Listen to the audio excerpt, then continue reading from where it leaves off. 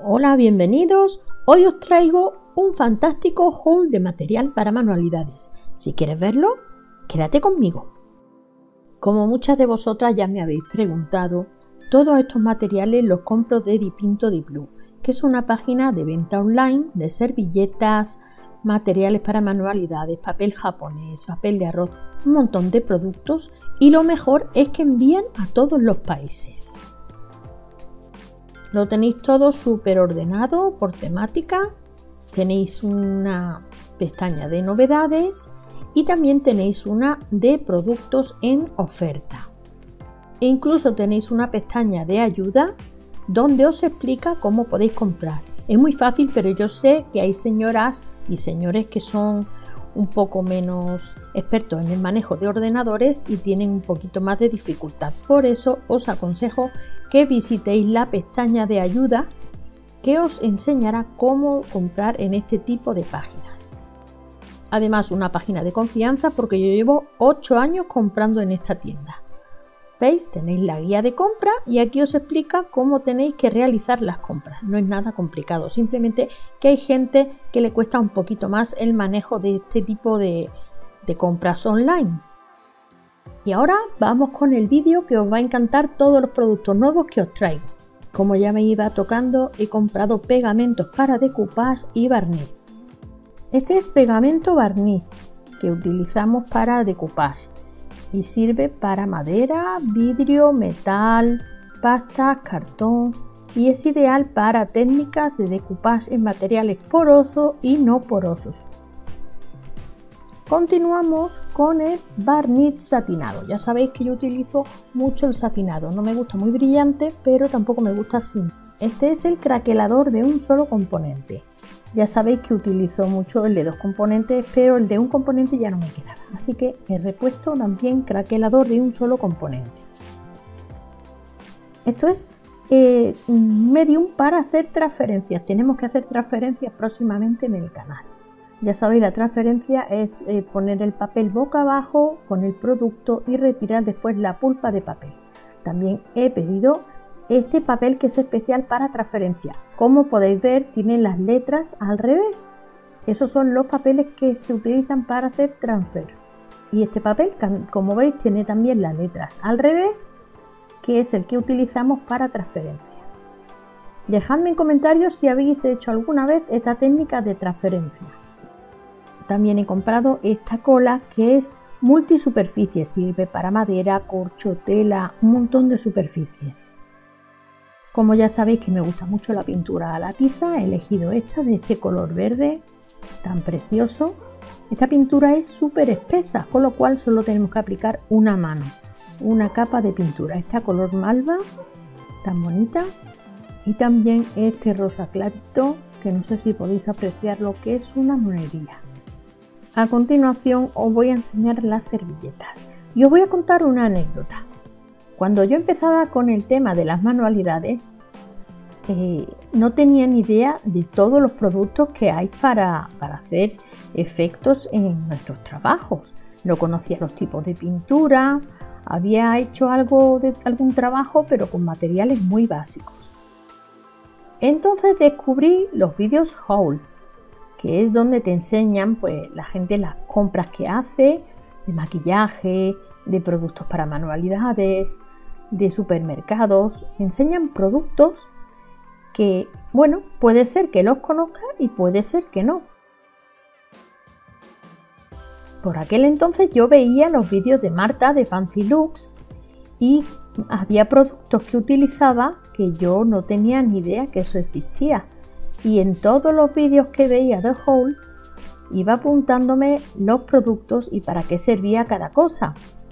También apuntaba en el vídeo que lo había visto, para cuando tuviera que hacer algún trabajo un poco más complicado, saber qué producto tenía que utilizar. Os cuento esto porque hay gente que no entiende el sentido de, hacer un haul, en el que, bueno, te enseñan productos, pero yo explico para mí, para lo que me servían este tipo de vídeos. A la vez que os enseño estas servilletas tan bonitas, que espero que estéis tomando nota, que son una preciosidad. Así que el hecho de enseñaros las cosas que compro, pues espero que os sirva para conocer productos, para conocer páginas o tiendas donde la gente que no tiene como yo una tienda física cerca pueda obtener también sus productos comprándolos online. Bueno, continuamos con los pañuelos de papel que ya me habéis visto utilizarlos que sirven para hacer decoupage. Este del unicornio que es una fantasía, fijaros qué cosa más bonita tiene pequeños unicornios que nos pueden servir para hacer muchas decoraciones con este motivo. Y este pañuelo de amapolas que tiene un fondo blanco con una ligera eh, letra de caligrafía que no sé si se aprecia en la pantalla. Lo voy a acercar para que podáis verlo. Qué cosa más bonita. Para las que no me hayáis visto de utilizarlo, el pañuelo de papel es igual que una servilleta. Le quitamos las dos capas blancas de detrás y trabajamos con la capa decorada. Esto es una novedad, es papel de arroz blanco. Fijaros qué pliego más grande. ¿Y para qué sirve? Pues yo te lo digo ahora. Es un papel que podemos decorar nosotras mismas con nuestros, eh, bueno, nuestras flores, lettering, acuarelas, pinturas a la tiza, lo que queramos. Hacemos nuestro dibujo y lo aplicamos igual que un papel de arroz normal. Pero al ser blanco podemos hacer nuestra propia decoración unas letras con lettering, algunas flores, lo que queráis y lo pegamos tal cual, como pegamos el papel de arroz normal. Incluso nos puede servir para personalizar trabajos, podemos poner el nombre de la persona a la que va dedicada nuestro trabajo. Continuamos con esta preciosa bolsita de algodón, es una tote bag. Tenía muchísimas ganas de comprármela porque como pone en el centro solo para artistas. Ahí voy a guardar mis lanas y mis agujas de crochet, que no sé si lo sabéis, pero soy una adicta al crochet. Así que me he comprado esta bolsa tan bonita. Y por cierto, el diseño es exclusivo, no lo vais a encontrar en ninguna otra tienda. Continuamos con los papeles. Este es un papel de arroz, como podéis ver por la parte de atrás, por estos hilitos y tiene una medida aquí abajo lo debe poner de 30, 25 a 30 gramos por metro cuadrado, que es un papel de arroz muy finito. Continuamos con esta lámina tan bonita de tarjetitas y esta es de papel soft, que es mucho más finito, es 15 gramos por metro cuadrado. Papel soft o papel japonés. Tanto el papel de arroz normal como el papel soft no se arrugan. Lo podemos poner muy fácilmente y levantarlo sin que se rompa. Este es papel soft también. Este, fijaros qué preciosidad. Y este no, este no es. Este, este es papel soft también. Precioso. Y este es papel para decoupage. Papel para decoupage es papel tipo folio, de esa textura y esa densidad como una hoja de papel, pero viene con decoraciones para el decoupage. Estos son tarjetas de cartulina para hacer trabajos de scrap, pero también lo podemos utilizar para las manualidades normales. Por ejemplo, en un bote reciclado le podemos poner este trocito de cartón que es duro en forma de etiqueta sujeta en la tapa, por ejemplo, con un cordelito. Y ahora vamos con los transfer. Esto es un papel especial para transferencia, como os he dicho al principio del vídeo, y necesitamos un producto especial que es el que he comprado para hacer transferencia. Tenéis esta lámina para transferencia, aquí lo pone también, pero podéis daros cuenta porque tiene las letras al revés, al igual que este pack y el otro. Lo voy a abrir para que podáis verlo sin el reflejo del forro. De todos modos, aquí en la funda tenéis todas las instrucciones para utilizarlo. Lo más característico son las letras al revés. El pack trae un montón de imágenes y son estilo vintage que me encantan, como las latas de colacao de nuestras abuelas. En la página de Pinto de Blue tenéis un montón de modelos, pero a mí es que este estilo me encanta.